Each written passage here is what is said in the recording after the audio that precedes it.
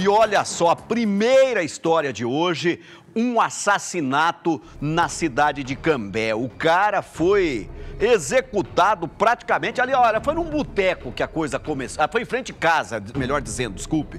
Foi em frente de casa. Ele estava ali, de repente alguém chegou e meteu bala. Foi uma execução aos 40 anos de idade. Vamos lá.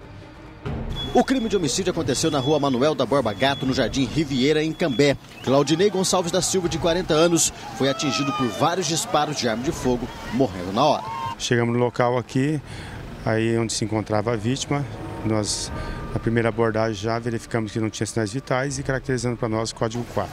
É, aparentemente, para nós ali, um tiro em hospital, né, na base do crânio, né?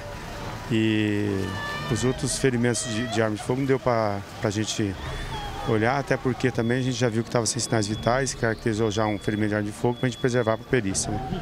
É, esse tipo de ferimento é muito complicado, né? E principalmente nessa região do corpo, né? Onde envolve cabeça, tórax, né? São regiões assim, aonde que é muito complicado. E ali podia estar do lado que não teria mais o que fazer. Agora a gente chega, a gente já viu que não tinha sinais vitais, caracterizou para a gente o código 4, né? Já, a vítima já estava em código 4 e daí a gente já só pede para que para preservar a cena né, do local para a perícia ter mais tranquilidade para o trabalho. Claudinei Gonçalves da Silva não tinha antecedentes criminais. Segundo a família, ele seria viciado em drogas. A polícia acredita que seja esse o motivo do crime. É, chegando aqui no local, a gente conseguiu colher com os vizinhos, embora eles não tenham visto, ouviu o barulho de um veículo chegando, possivelmente um carro ouviram posterior a isso aos disparos de arma de fogo e se, se retirando.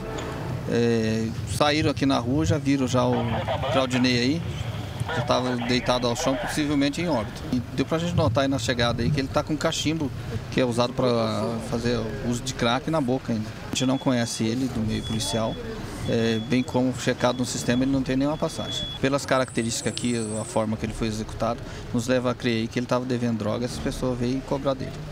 Olha, o que a gente soube dessa história é exatamente isso que o policial falou. As informações, inclusive da família, são de que ele não fazia mal para ninguém, mas era usuário de drogas. E aí, se você ficar devendo uma pedra, é motivo para o cara chegar e te executar. Porque eles têm que organizar o meio e mostrar para quem usa a droga que se ele não pagar, ele vai pagar com a vida. Por quê? Porque lá não dá para ir no fórum cobrar uma dívida. O negócio é ilegal. Então, se você ficar devendo uma pedra e não pagar, uma pedra de cinco reais, eles vão gastar 150 em bala de pistola de 38 e vão arrebentar com a sua vida para que sirva de exemplo para os demais. Infelizmente foi isso que aconteceu, ele morreu com o cachimbo de crack, que certamente era a coisa que ele mais gostava, porque o cara que está viciado no crack não vê limites para conseguir a droga, infelizmente.